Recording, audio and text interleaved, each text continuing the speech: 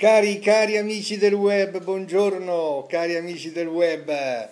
Io sono l'ombra di Hans Christian Andersen, il danese che ha inventato le più belle fiabe che ci siano al mondo.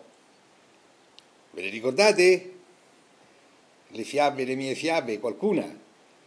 L'intrepido soldatino di stagno la piccola fiammiferaia, la principessa sul pisello, la sirenetta, la sirenetta, c'è pure il monumento a Copenaghen. Eh? E perché vengo qua sul web a proposito di Valeria Marini? Perché il mio amico, il mio coetaneo, io sono danese, lui era tedesco, ma siamo vissuti nello stesso periodo, Arthur Schopenhauer, un grand'uomo, eh, è già intervenuto a proposito di Valeria Marini e ne ha dette peste e corna. Perché? Ma perché? Arthur Schopenhauer ha detto peste e corna di, di Valeria Marini e ha detto tra l'altro una cosa che, che mi ha colpito profondamente, ha detto pure Schopenhauer che Valeria Marini ha le caviglie un po' grosse e quindi non si, Schopenhauer non capisce non capisce il mio amico Schopenhauer che sta qui con me nel mondo delle ombre, non capisce per quale motivo un editore italiano da quattro soldi è andato a pubblicare un libro di Valeria Marini intitolato Lezioni intime, con dentro pure un inserto chiuso, chiuso vietato ai minorenni. Pensate voi che editore che è questo? Uh, Schopenhauer, che, che, ha detto? Si è scatenato. Andatevelo a vedere il video e io me lo so goduto il video. Il video è intitolato Valeria Marina, ma Valeria Marini e Schopenhauer. Andatevelo a vedere. Eh. Io continuo a rivedermelo. Eh, però, però eh, voglio intervenire pure io e vi spiego perché. Su, su Valeria Marini, vi spiego perché. Io ero brutto, brutto, brutto, brutto come la fame però ero molto sensibile. E purtroppo io con una donna brutta non ero disposto ad andarci, preferivo vivere da solo. E le donne belle con me non venivano.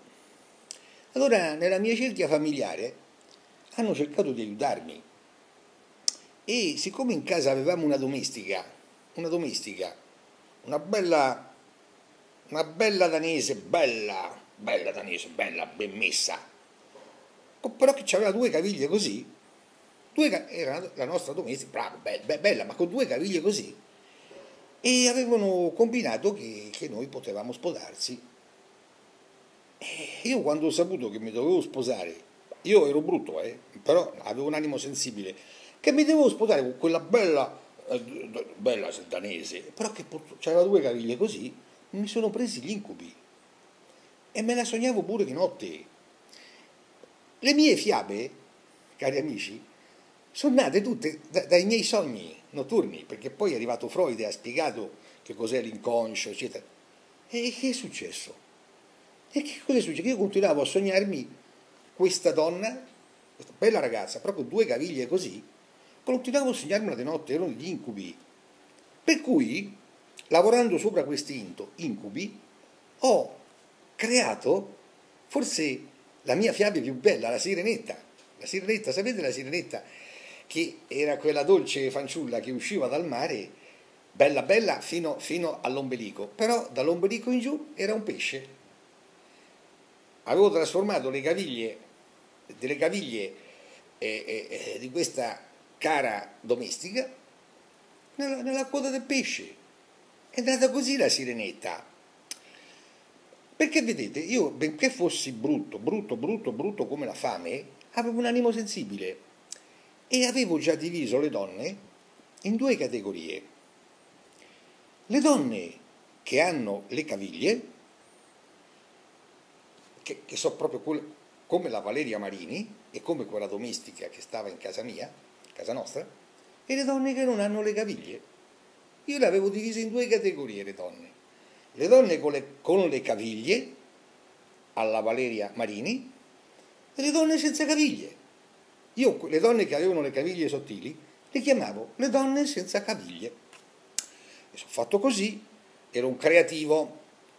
E la mia fiaba più bella, fiaba più bella è proprio la sirenetta. È proprio la sirenetta. Allora, io so tante cose, so tante cose di Valeria Marini. Per esempio, per esempio, lei era riuscita, Valeria Marini, a, ad abbindolare un, un, un, grande produttore fiorentino, mi pare che si chiami eh, Cecchi Gori, l'aveva abbindolato.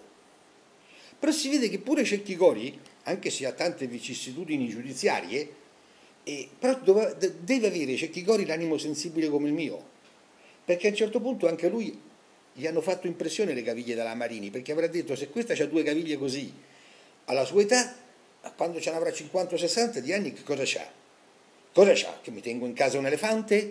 E allora eh, Cecchi Gori ha fatto bene a mollarla, a mollarla. Nell'ambiente in cui si trova lui, ne trova le donne senza caviglie, immaginiamoci, con tutti i soldi che ha, perché poi le sue disavventure finiscono Va bene cari, io ho voluto intervenire, intervenire a supporto del mio amico Schopenhauer, che sta qua giù, che sta qua giù, con me nel mondo delle ombre, per dire la mia su Valeria Marini e sul fatto che un editore, un editore da quattro soldi, sia andato a pubblicare per far quattrini, perché venderebbero pure la loro anima gli editori per far quattrini, sia andato a pubblicare un libro, un libro, libro, libro di Valeria Marini, titolato lezioni intime, lezioni intime, come se fosse stata appunto la Lola Lopez di cui parla Arturo Schopenhauer, che si era fatta tutti i sovrani, i principi, i marchesi, i conti, i duchi europei. E Valeria Marini che cosa potrà mai raccontare? Perché con quelle due caviglie lì non è che avrà avuto tante esperienze come la Lola, la Lola Montes eh, di cui parla Arturo Schopenhauer. Caro, Cari, vi ho, vi, ho, vi ho, detto la mia, vi ho detto come sono sempre nate le mie fiabe, specialmente come è nata la sirenetta, la sirenetta, e ho detto la mia, sono contento anche perché così ho rafforzato il teorema, il teorema accusatorio di, del mio co- collega, del mio collega, mio caro amico Arturo Schopenhauer.